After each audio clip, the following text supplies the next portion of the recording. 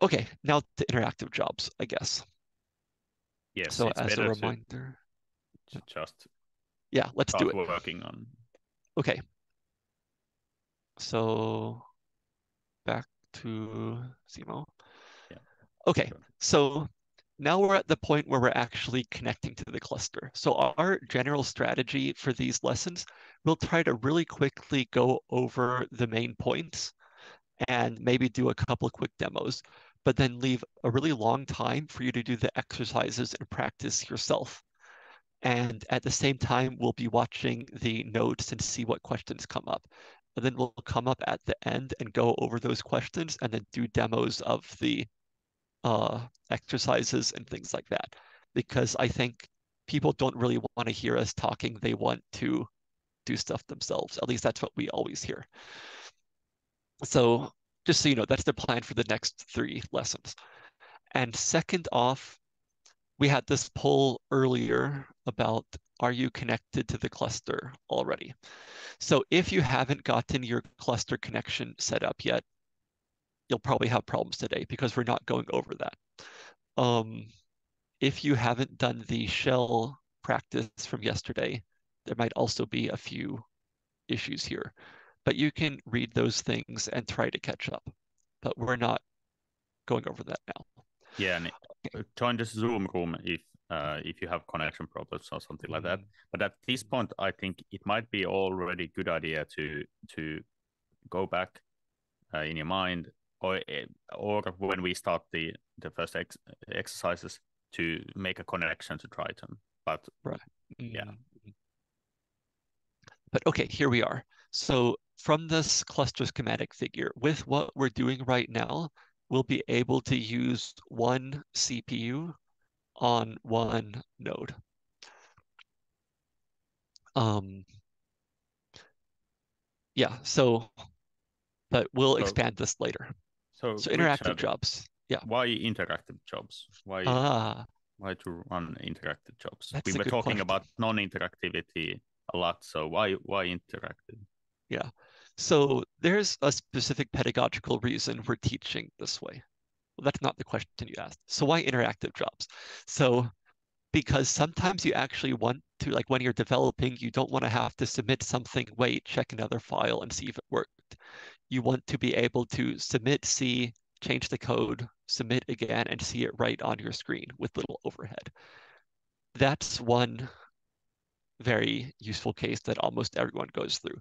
Also, sometimes like, there have been times in my career I've said, okay, I need to process this data, but it needs 200 megabytes to load it. So I'm going to get one interactive job and request 200 megabytes of memory and a few processors. Go there, like load it up in Python, do whatever my thing, and then save it out, and then go on with my work.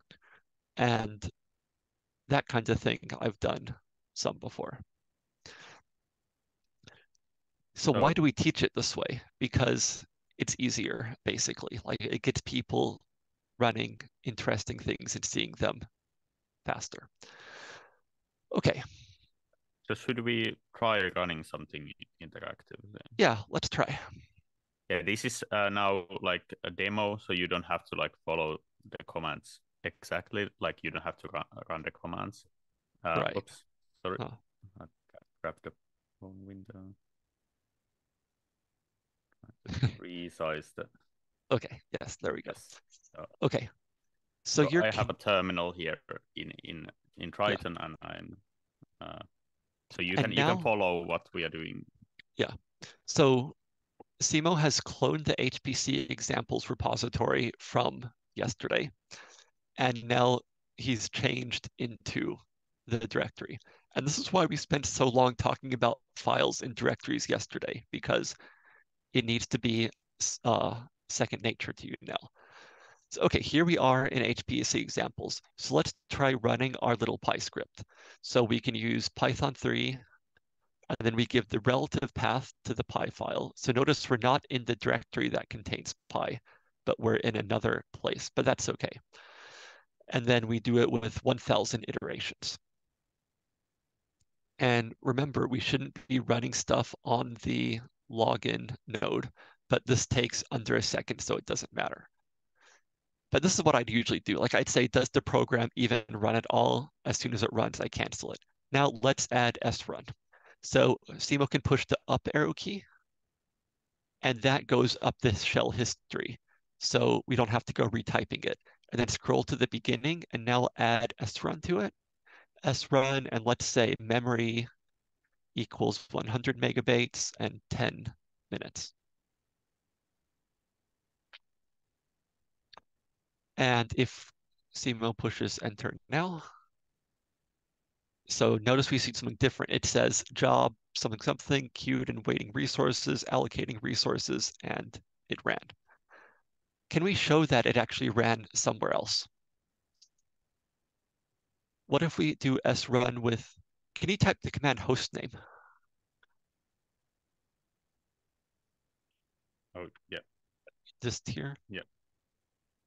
So host name prints what computer it's run on. And now can you do srun host name?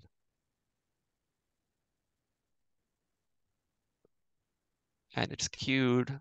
And look, it says something else. It says CSL 48. Okay, is there anything else we really need to talk about? Or is this basically it? Or the interactive shell would be good to say. Yeah. So the problem here is that we're waiting for every job to run. So, I mean, not very long, but sometimes it can be a while. Hmm. So mm. there's a way we can use srun for something different here. So if SIMO does srun, I'll, I'll quickly or, uh, oh. say that like what we did here was that we previously were running uh, like over here when I run the command hostname, it ran here in the login node. But immediately when we use the srun, the uh, the queue system takes over, and the queue system sees that okay, I will want to run something in the queue, and it will reserve uh, resources based on the resource request that we have specified, and then puts the, puts it onto uh, some compute node. And I don't know what compute node is going to be. It's it's de- decided by the queue system, but it ends up here uh, somewhere. Mm-hmm. So this is what we basically did with yeah. the srun. And there's already some questions in the notes about this not working on at some other universities. So yes. if it doesn't work, this is the kind of thing that's different at different sites. So you might yeah, need to add the working. partition or something like that. Yeah, like write in notes and see if someone answers there. Okay, uh, where were we? Um, the interactive shell. Yes. So if SIMO does srun and then dash dash pty, and pty means pseudo terminal. Pty bash, or yeah, some time, like let's say hour, and then mem, uh, two dashes for mem, I think. Oh yeah, yeah. Okay, so if we run this, we request one hour of time and 500 megabytes. But this looks really similar. But if we do host name, we notice we're on the other computer. So now SIMO can run multiple things at once. SIMO can start up Python, try to do some stuff, close Python, look at the data, start Python again, yeah. and whatever. Yeah. So, yeah. Okay, um, what else? Oh, There's a section about. Is there anything else here? There's interactive shell with graphics. That's another section, but we don't need to go. You can read that yourself. Uh, checking your jobs. Should we show Slurm history? Yes, we'll talk about monitoring later on, but Slurm history is is uh, well, it's a there is a this might be in in some other clusters might be different, but in right. maybe I, maybe I need make yeah, it needs to be wider. So I'd say just make it really wider, like drag yeah. the other half off the side. So basically Slurm, Slurm is recording everything that's running.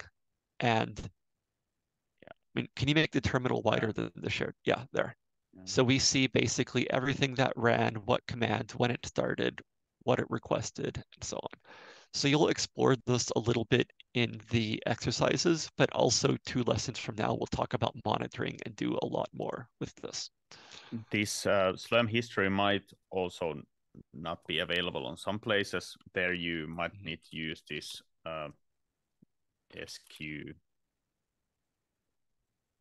user. Mm-hmm. Oh, sorry. Yes, user, which gives a different kind of an output. But uh, yeah. in most most clusters, the Slurm commands should probably be there in in yeah. Uh, in Finland at least. Yeah. If you scroll down to where it shows Slurm history. Yes. Uh, even more there. Yeah.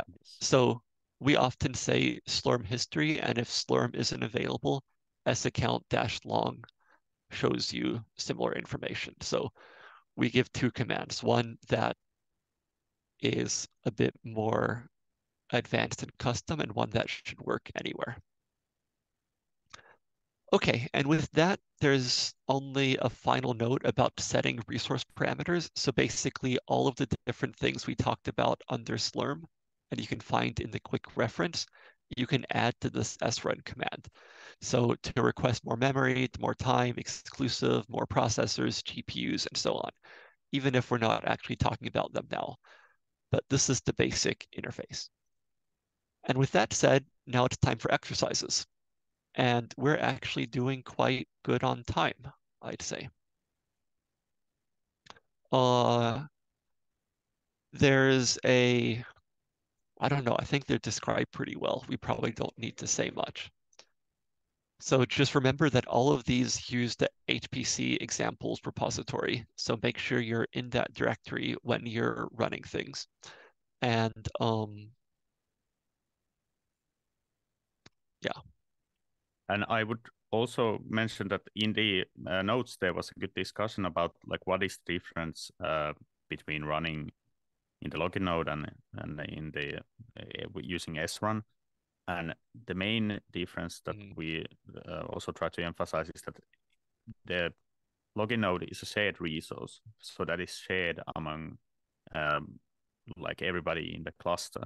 So it's usually very important that you don't do not run anything uh, like anything uh, that is uh, computationally heavy on the login node because uh, that will affect other users and and it, yeah. it's not the fastest way of doing it uh, so if if you're uncertain where you are currently because in the terminal you don't necessarily see it easily where am i you can always run the hostname command to check am i running it on the login node or am i not and and then if it's if it says hostname is is the login node then you know that okay maybe i shouldn't be running it here maybe i should use the srun yeah. Uh, there's a good point. Yeah. Mm-hmm, mm-hmm. Yeah, so there's a wrong example here. It's missing the argument iterations. Um, but yeah, so this is a good example of reading an error message. So here it says pi.py error, the following arguments are required iterations, which is a hint that there's something wrong, it needs this other argument, and maybe the docs are wrong. Um, yeah, should we go to the exercises? How long should we give?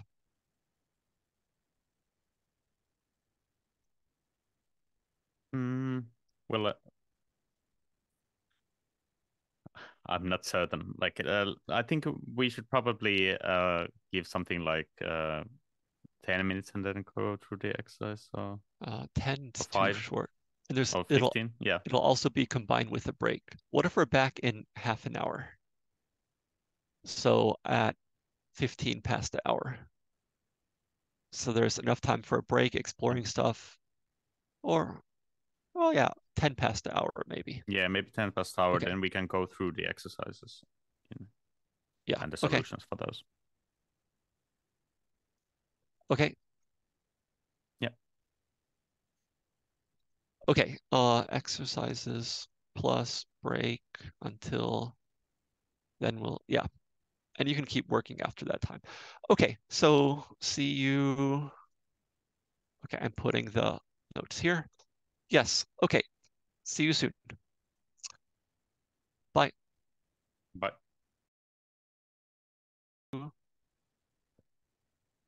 Welcome back, everyone. So hopefully you had a break. And if you're still working on things, you can keep working while you're we're talking if you'd like. So there were a lot of questions, but overall, I think it's gone pretty well relative to how it could go some past years. Yeah. In the in the exercises uh, section in the notes, do you want to vote whether you managed to do the exercise or not? Mm. Uh, like if you had uh, if you did them or if you had any problems or if you need more time because that will let us know what's the status currently so uh, yeah or if you're not even trying so uh, ah. that way we can we can better like know we know if we should focus more on like getting through these exercises yeah okay okay well people are uh, maybe we should have also asked, do you want us to go over them? Well, let's scroll up to the uh, notes and let's see what kind of questions we had. Does that sound good? Yeah. Okay. So not just for exercises, but all interactive jobs. Does this need to be larger, the text size?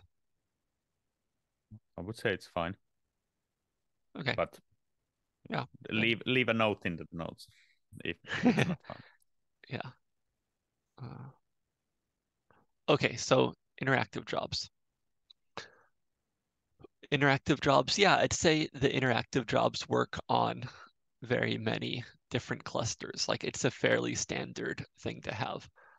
I know some years, for example, the University of Helsinki cluster, there was a different command you needed to run to get them, but it's a thing sometimes they're discouraged because by being interactive, it basically means the resources are not being fully efficiently used. But everyone understands that a small amount of resources being used for development is a normal thing. Then the third third question, like we can we can return to the software um, when we yeah. get to the, the software, software, one. Yeah. We actually get to that. We're talking about that later today, but that's uh, a good question. Yeah. So and uh, like if you see any kind of errors that say it is kind of like unable to allocate resources, invalid account or account party, partition combination. So different clusters have different kinds of ways of like separating different types of nodes and different users into their like specific places. So the account means that, for example, in CSC, you usually get an account or project account for each project uh... that you're doing there. So you usually need to specify like which billing unit you want to put the resource or you want to build the resources out of. Uh, but but for example in Aalto, we don't use them. It's done behind the scenes automatically. And similarly in um, the partitions um, uh, they're like uh, in different clusters. You might have different nodes specified to different partitions. So uh, you yeah in in those cases you need to check the mm-hmm. the documentation for that specific cluster. Yeah. Yeah. And that's why having a cluster cluster quick reference or something like that's good. Like one way that new users can scroll through and see what's specific to your mm-hmm. thing and how to get started. And also um, like the question below if you if you see like you then waiting for resources that's what it's doing. So it's it's waiting for resources it's waiting for the correct slot to appear. Uh, so it's waiting for yeah exactly what it's saying on the tins so it, like that can happen because it's a shared resource and if all of the resources are in use you'll have yeah. to wait and this is yeah. partially why we don't recommend doing too much interactive stuff because you will wait and waiting while you're sitting there is is annoying but waiting mm. if you're not sitting there if you're doing it non-interactively that's not so annoying so uh, we'll yeah. be talking about non-interactive stuff after the interactive session okay uh we submit jobs from the login node yes you can actually usually submit jobs from other nodes, but let's just ignore that. So you connect to the login node, you submit stuff, you check the output from the login node.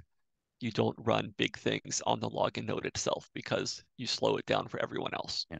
Well, to the Dyna metaphor, you order the food from the like the restaurant hall. You don't order the food from the kitchen. So mm-hmm. you don't walk mm-hmm. into the kitchen and say that I want a pasta.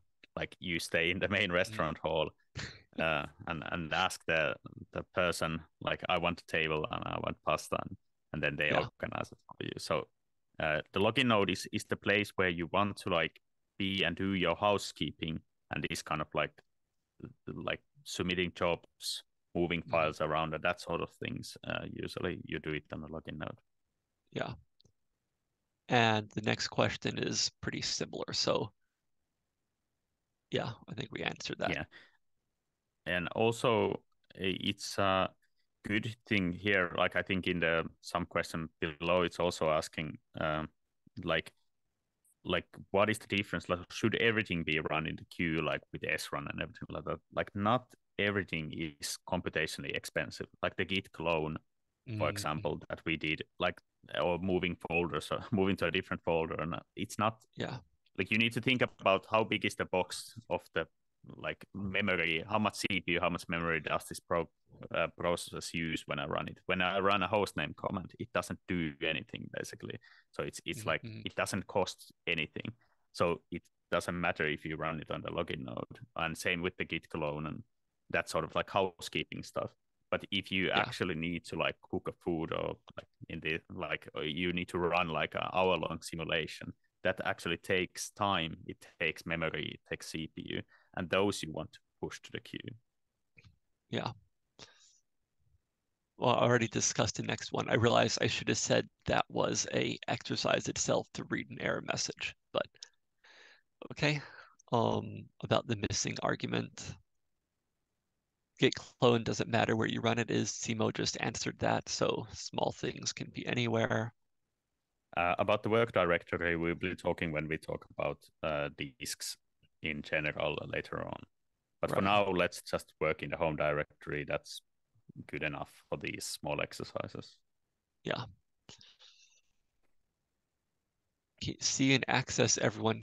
Is that on Triton? Because that shouldn't be the case on our cluster. Yes, yes, it shouldn't be the case.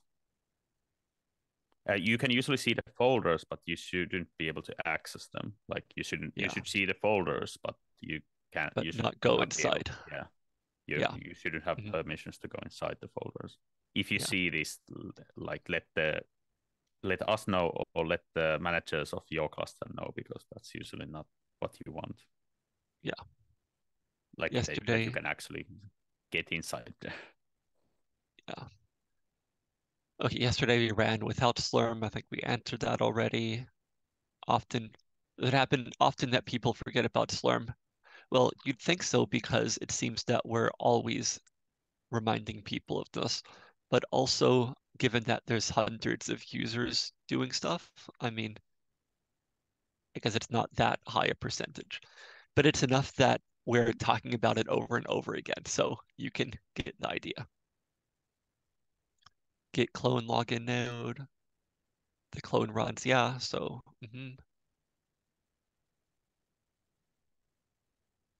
So this is a good one. So where did we get the test code? So at the top of the exercises, it says how to clone it, actually links to what we did yesterday about it.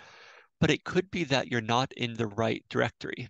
So for example, if you haven't done CD to HPC examples, then the relative path slurm dash slash pi.py doesn't exist. Or you might have changed into the slurm directory and then you're running it with slurm slash pi.py. So this cluster shell lesson from yesterday, the main point was to give some experience with these directories and moving around and knowing where you are so you can run stuff. So I'd really recommend if what I'm just saying doesn't make a lot of sense to you after this course is done, go read that again and see if it makes more sense with a bit more experience. Because this is something that will make everyone's life a lot better. And it's worth spending five more minutes or 10 more minutes to know that. Yeah. And, and like you can always run the commands pwd to check mm. where what is your current working folder. So where am I mm-hmm. now? And you can always run the hostname command to check what machine I'm running these commands in. So those co- yeah. are good you things to mm-hmm. like get navigate uh, like in in the system because it's always it can be hard using the terminal especially if you don't have uh, if you haven't used terminal in the past to to like get grips of okay where am i when i'm looking at the screen that only says like words and numbers and that sort of thing and and but yeah i would recommend checking the output of those commands and trying to get like bearing of okay how far in the tree hierarchy of directories am I, mm, and which mm-hmm, machine mm-hmm. am I running these commands in? Yeah. The next question, change from login node to our workspace. Do you mean your storage space or your job allocation with the resources there? So the storage space is shared among all nodes of the cluster. So it's just like you have it there. And then the commands we've been doing now get you the resource allocation. Okay, this is about Oulu, which we don't know. Mm. Same error. There's a question about compiling code. We can talk about that when we talk about applications later today. Mm. The yeah, like heavy. If it takes a long time, I usually like if if if it takes a long time, like longer than you're willing to watch the screen, I usually move it into the queue. Like if I'm not actually watching the thing execute, it's taking too long and I'm doing something else at the same time, then it's usually something you could do in the queue. Like I would yeah. give that as like a good like rule of thumb. Uh, so like if, if you're not bothering to watch what the output is constantly saying, mm-hmm. it's running too long. Yeah. Okay exit login answered. This is a good thing. So we're using this command slurm, which is a custom. So it's not part of slurm itself, but an add-on that someone wrote to make some of the other commands easier to know. So usually in the docs, we've tried to say what the slurm one is and what the equivalent with other things. For example, slurm q versus sq-u user which is the generic one. Uh, you can ask your admins if you can, um, if they can install it to make life easier for you. Uh, let's see. Maybe we should go on. Okay, if you allocate for one hour and a process finishes in 30 minutes, do the resources get freed? Yes. So if the job actually ends and the monitoring says it lasted half an hour, then the resources are free and you're not charged for those extra resources. So it's okay to give a longer queue time. It might mean it takes a little bit longer for your job to start, but that's okay. Yeah, especially like is... if you're running like a interactive terminal, what we were running here, like like you can put on like an end time there. But usually, like if you let's say you want to run test some stuff out, mm. you might put like I don't know, like two hours there, because like you don't want mm. to, right, right when you found out the correct thing you want to do that it it's it shut down. So mm. You you might want to like overestimate a bit, but usually you want to keep it well close to the runtime, but you, usually you want to give it a bit more leeway so that if something goes longer yeah. than expected, it, it doesn't get killed. Yeah. Okay, I guess we should move on because my clock says it's the time. Um, can anyone on the cloud? So yeah, only admins can see or mess with your stuff. The whole system is designed so that users can't interfere with each other. There, I will quickly um, mention there that there are programs such as, for example, Jupyter, that if you run it without like the normal security things that it, it runs, you mm-hmm. you can give by mistake access to other people. So you should yeah. like, yeah, be careful when you run something with a web application or something like that because it, it can Mm-hmm. sometimes be tricky. Normally, Jupyter it gives you this URL that that has this like password there, so you Mhm. can like make it so that the other people can't use it. But some of Mhm. these, because it's a shared system, some processes might like if they want to like uh, give access to other people, uh, they might Yeah. do it. So be check your So- application. So, yeah. The next question is actually really a good lead for the next one. If I run a program using the srun command and accidentally close my shell, how can I get the results back? Well, that's the thing. You can't. And that's exactly why you shouldn't be using srun for anything that might take a while or that you want to keep. Um, and that's why we do batch jobs, which is what we will do next. So I will add that here. Yeah, the, it's it's basically like interactive. Basically means that it's only there. It's like only there when you are you are there as well. So interactive by definition is something you do like that uh, involves you being there. Okay. And and if you are not there, if you close the connection, it will like Yeah. close the session. So you shouldn't use those for anything that takes long and Yeah.